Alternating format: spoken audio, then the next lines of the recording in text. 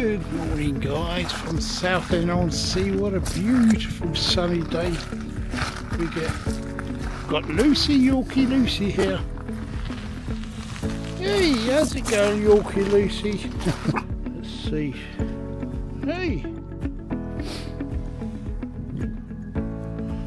Yeah, had to come out to a yeah we had to come out to a place like this this morning. It's so beautiful here. I love nat natural places like this.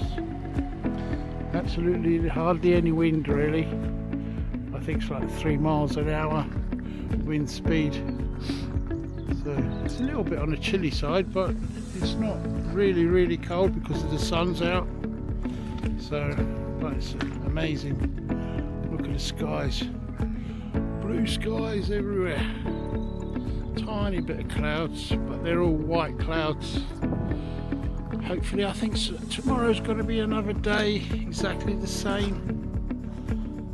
I hope so. I might, I might actually come back here and bring my metal detector, which I haven't used.